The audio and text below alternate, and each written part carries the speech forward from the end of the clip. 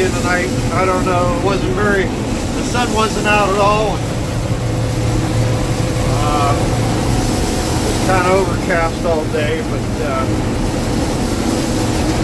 surprisingly, the beans are. I tested them at about 13 percent. So. uh, Yeah, we're going to take them off.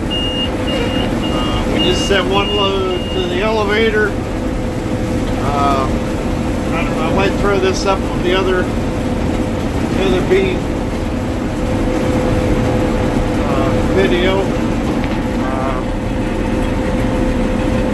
there's that automatic head. I like that.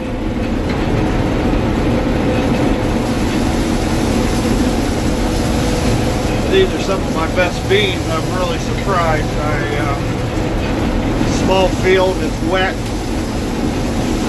Did really well down here. They're all with a couple strips here. I had some weeds in, but uh, yeah, they're all waist high beans.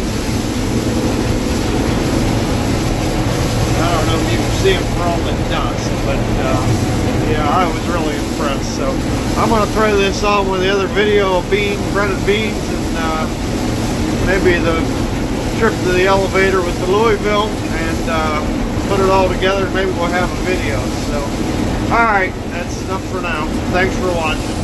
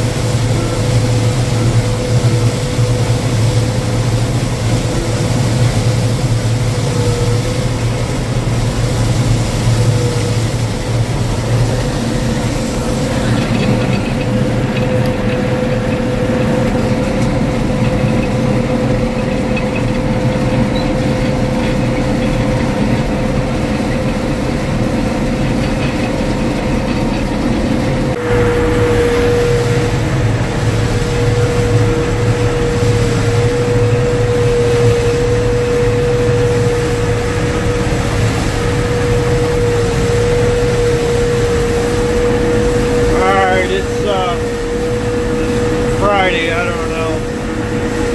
I think it's the weekend of Halloween. Uh, is the last of the beans. Uh, run that out there, that's six acres uh, last night till dark. We got rain coming tonight, they're claiming it's 7 o'clock, so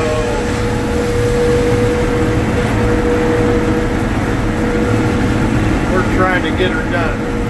Um, yeah, I don't know how I'm going to throw all these videos together, but yeah, this is the this is the bean field that was just below them. Just below the upper oaks, there's the high tension tower. Uh, fields up there above above them trees. this line right along here where I stop.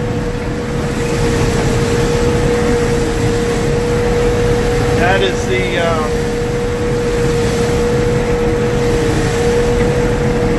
from there up I had oats last year. It looked different. I said one of the other videos how different it looked and whether the oats had taken something out of it or somebody commented that they'd taken something out of it, out of the ground. Uh, either way, the beans are still good. The weeds are just little more. There's a few weeds here and there. Looks like there's some mare's tail, maybe a little bit of ragweed. So I'm going to try to finish this up today. Uh, I still have still working on that 20 acre cornfield that I showed in the last video. Uh, it's, you know, it's been good, but I got one combine and I'm only one person, so I can't take corn and beans same time. So, trying to get her done.